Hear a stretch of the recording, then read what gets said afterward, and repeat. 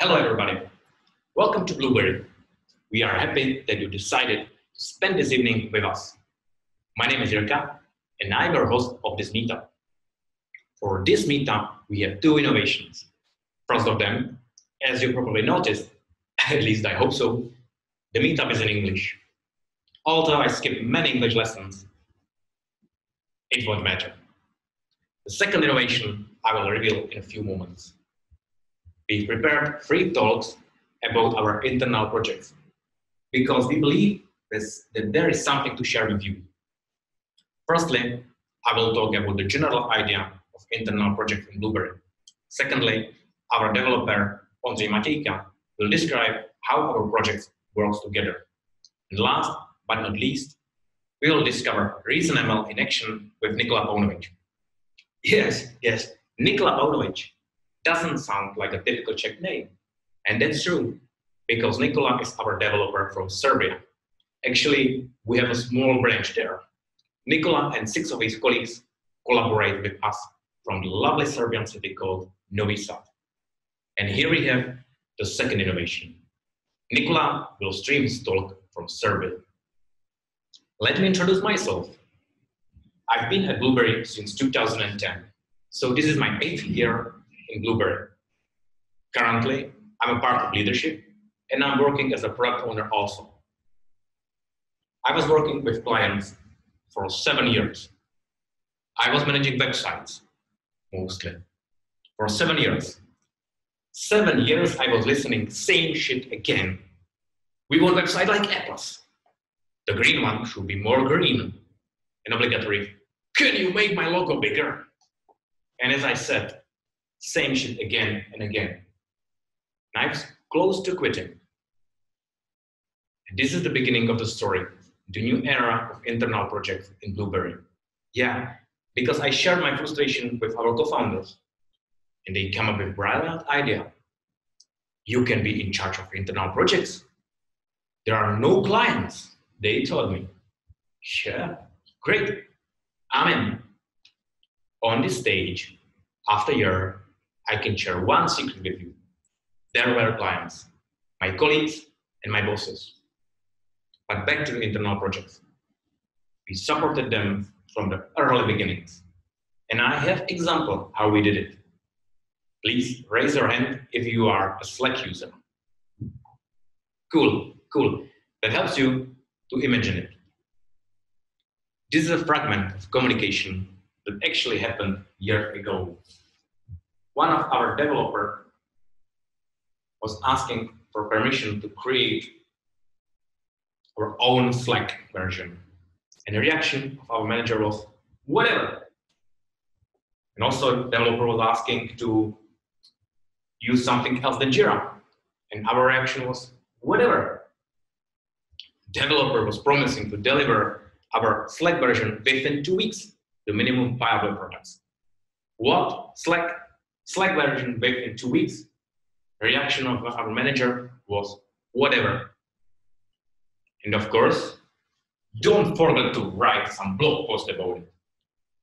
Of course, I'm exaggerating a bit, but that's the perfect illustration.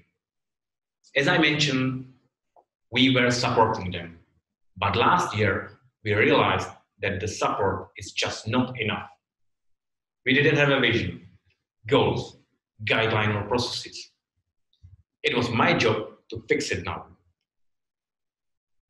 I had an interview with almost everyone who was involved with internal projects, hackathon, and our open source projects at Blueberry before. Based on these uh, results of the interview, expectations of leadership, developers, HR, and my own idea, I came up with guidelines. Firstly, I started with definition of project by purpose. And now we have three categories. Money-driven projects, growth-driven projects, and learning-driven projects. Why? Because we need very different point of view for something what generates revenue and something that is supposed to teach us. Money-driven projects have quite a simple goal they should generate revenue. This type of project has defined a budget, long-term strategy, and dedicated team support via online marketing. In this category, we have only one project so far. But on the other hand, this project is quite popular. It's Faktura Online. Issue your invoice fast and safely. Second type of projects are growth-driven. These projects are quite similar to the money-driven one. They have long-term strategy, budget, and dedicated teams as well. But their primary goal is to generate leads or help us to maintain our daily agenda. We have several of them. For example, our website, Blueberry.io, which generate leads, business leads, or our Cardi website, which help us to attract potential colleagues, or our internal system for issuing invoice, our Cheddar called Cheddar. We use this system once a month, but with a nice and wide smile. Last, and most interesting category are learning-driven projects. The biggest issue that we faced was lack of challenging projects, mostly because we were limited by client requirements and deadlines. It was right time to strike with the learning-driven projects. We have defined rules for this type of projects. I will show you the most crucial from my point of view.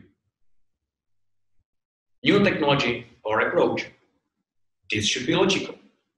If you want to learn something, it should be something new.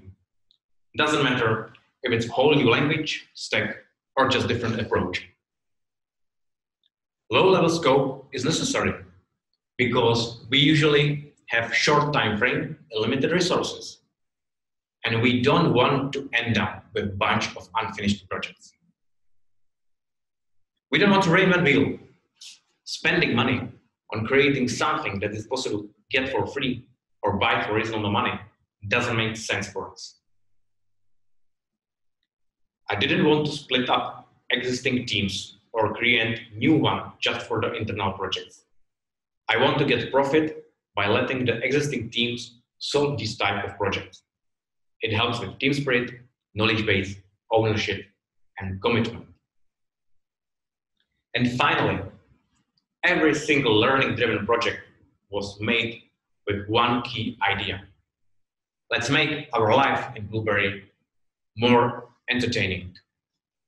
I'm calling it Blueberry's Universe.